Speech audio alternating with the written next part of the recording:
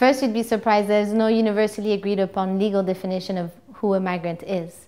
So if you take the most basic definition used by the United Nations, it is whomever changes his or her country of residence. So in that case, anyone who moves uh, across a border of a national country becomes a migrant. And so every refugee is a migrant initially.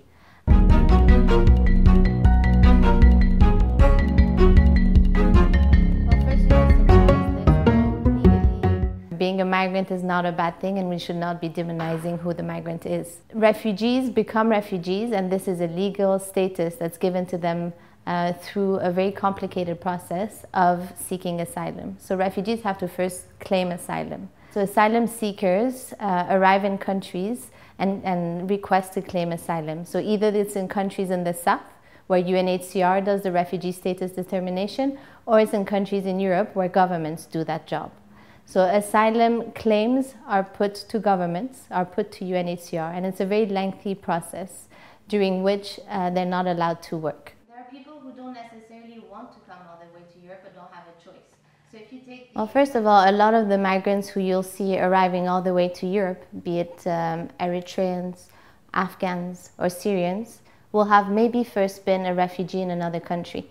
Uh, so in the case of Afghans, they've been refugees in Iran or Pakistan. Some of them come from Iran to come to Europe.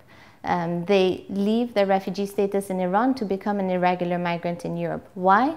Uh, because in Iran, although they may have limited access to education and healthcare, they have no right to work. Uh, so that means that their whole future is compromised as they will never see a possible opportunity to integrate locally. And if they don't want to return, if they can't return because of conflict, then their only choice is to leave.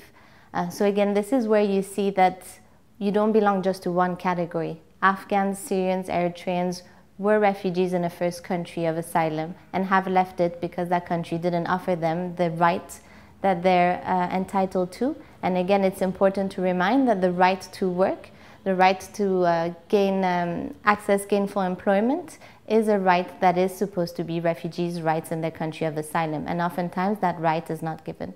There are laws and conventions that frame all these discussions. So there's a 1951 UN convention uh, that clearly labels who a refugee is.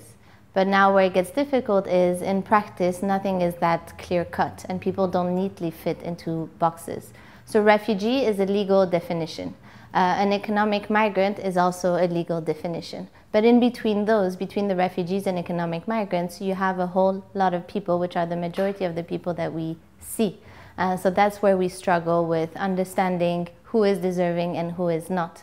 And poverty is not just economic either. And this is what the work of Amartya Sen reminds us of, and this is what is clear when you go into countries of origin.